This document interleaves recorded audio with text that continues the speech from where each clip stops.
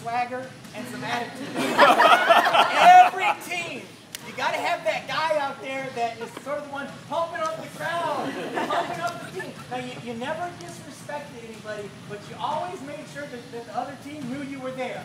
I like the creative way of reminding them that you got the flag. On the video, don't ever lose that. That is so. That helps your team.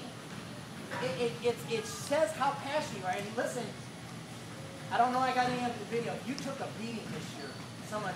You got knocked around.